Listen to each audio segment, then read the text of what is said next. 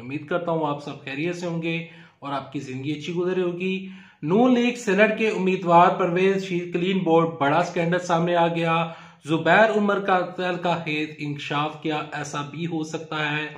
आज है 18 फरवरी और सेनेट के इंतबात काफ़ी ज़्यादा करीब आ चुके हैं। सेनेट के इंतबात के बाद पता चलेगा कि कौन सी जो सियासी जमात है, उसका पड़ा बारी है और कौन सी जो सियासी जमात है, उसका पड़ा हमें कमज़ोर होता हुआ नज़र आ रहा है। वो तमाम तर चीज़ें इस सेनेट के इंतबात के बाद और आने वाला टाइम डिसाइड करेगा। लेकिन जो मौजूदा खबरें हैं और जो मौजूदा सूरत हाल चल रही हैं, वो आपके साथ इस वीडियो में शेयर की जाएँगी। तमाम तर चीज़ें आपके साथ शेयर करने से पहले, आगे बढ़ने से पहले, अगर आप इस चैनल के ऊपर रहने ये वीडियो, ये चैनल अगर आपको अच्छा लगता है तो इस वीडियो को लाइक कर लीजिएगा, चैनल सब्सक्राइब करके साल अगर नोटिफिकेशन बेल बढ़ दबा लीजिएगा, ताकि जो आने वाले वीडियोस हैं, आप उनको मिस ना कर सकें।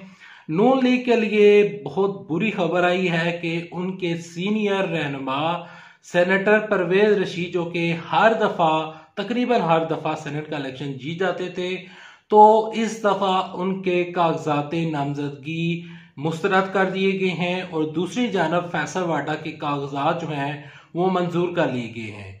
सेनेटर परवेज रशीद के जू ही कागज़ जो कागजात नामजदगी थे, वो नामंजूर हुए, उनको जब मुस्तरद किया गया तो उन्होंने मीडिया पर आकर एक बयान जारी किया। सेनेटर परवेज रशीद जो हैं, उन्होंने बयान जारी करते हुए कहा कि इसके पीछे सिर्फ़ और सिर्फ़ इमरान खान साहब की साजिश है और इमरान खान साहब जिससे मेरी एक तकरीब बर्दाश्त नहीं हो सकती तो वो मुझे सेनेट में किस तरह देख सकता है? वो कहते हैं कि मेरे ऊपर किसी किस्म का कोई इल्ज़ाम नहीं था। इमरान खान साहब ने और इमरान खान साहब की मौजूदा जो इस टाइम सियासी क्यादत जा रही है और जो उनकी हुकूमत जा रही है, इमरान खान साहब इस हकूमत में होने की वजह से और अपनी तमाम तर जो उनके पास इस टाइम पावर है उसको पावर को यूज़ कर रहे हैं और हमारे खिलाफ ये बड़ी साजिश कर रहे हैं और इमरान खान साहब को इस साजिश का मैं जवाब दूँगा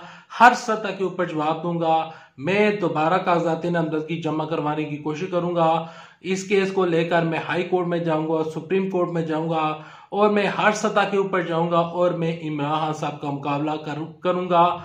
और ना हम झुकने वाले हैं ना बिकने वाले हैं। हम मरियन नवाज़ शरीफ के आ, के तौर पर कारकुन है इसके अलावा जो नवाज़ शरीफ है हम उनके नक्शे कदम पर चलने वाले हैं। और नवाज़ शरीफ की मोहब्बत करने की वजह से और नवाज़ शरीफ का साथ ना छोड़ने की वजह से हमें ये सजा दी जा रही है। लेकिन सेनेटर परवेज रशीद के ऊपर एक नया केस खुल गया है और एक बड़ा स्कैंडल सामने आया है।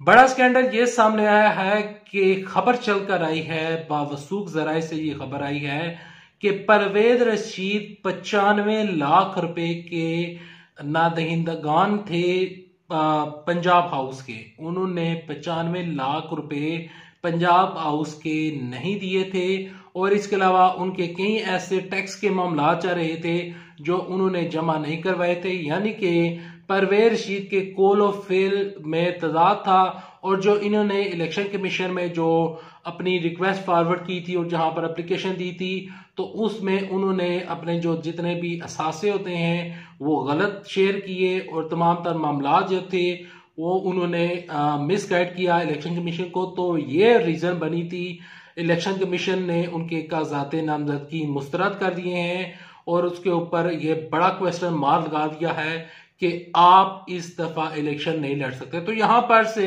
मरियम नवाज़ शरीफ साहबा का और मुस्लिम लीग नून का गनोना और भयानक चेहरा हमारे सामने निकल कर आ, आ जाता है एक तरफ़। तो वो फैसल वाडा के खिलाफ कंपेन कर रहे हैं। फैसल वाडा के बारे में बयान जारी कर रहे हैं कि ये शख्स है इस शख्स के पास ड्यू नेशनलिटी है।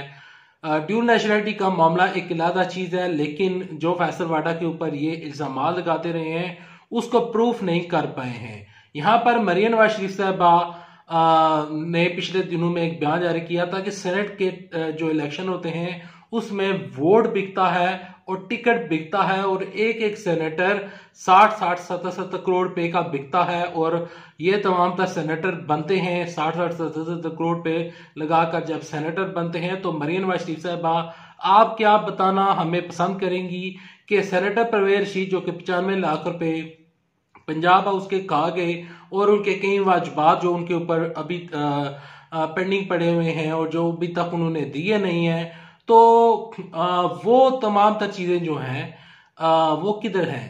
क्या इनको बार बार सेनेटर बनवाने में और अपनी साख बचाने में क्या आप सेनेटर परवेज रशीद से पैसे लेती रही हैं या पैसे देती रही हैं? ये मामला अब खुलेगा और बड़े बड़े स्कैंडल हमारे सामने निकल कर आएँगे। बढ़ते हैं दूसरी खबर की जानब के जुबैर उमर का तय का खेत इंकशाफ।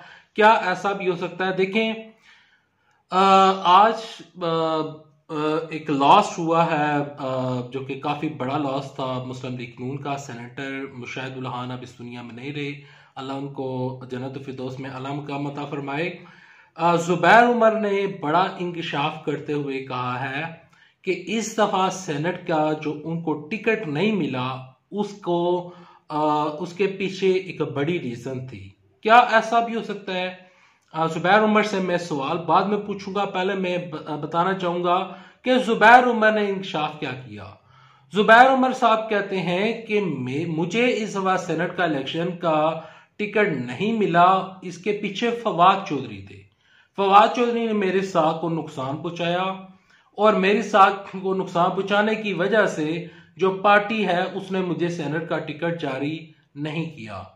यहाँ पर मैं जो जुबैर उमर है, उनसे सवाल पूछना चाहता हूँ कि क्या ऐसा भी हो सकता है?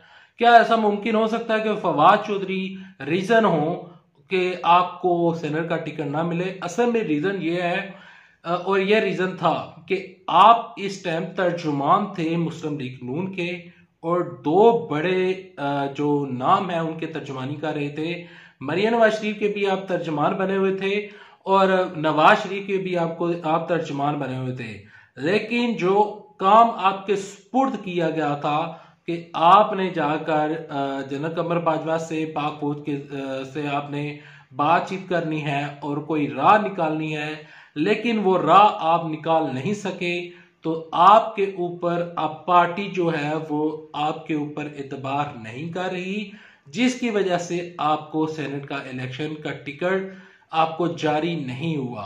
आपको जब आप जब वफाक तौर पर सबक गवर्नर सिंध थे तो उस टाइम आपके ऊपर पार्टी इतबार कर रही थी, लेकिन आपने उनके एतबार को उस टाइम भी ठेस पहुँचाया था और वजह बनी थी जो 2018 में कराची में जो बुरी तरीके के साथ जो मार पड़ी थी मुस्लिम लीग नून को और जो इस टाइम सूरत हाल मुस्लिम लीग नून की चल रही है उसके पीछे आपका काफ़ी बड़ा हाथ है।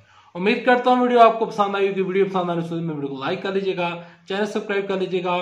जाते जाते आपको बताना चाहता हूँ कि इमरान खान साहब की पोजीशन मुस्तकम होती हुई नज़र आ रही है और ये तमाम तर अब सामने आ रहे हैं। अल्लाह हाफिज, पाकिस्तान जिंदाबाद, पाकिस्तान फौज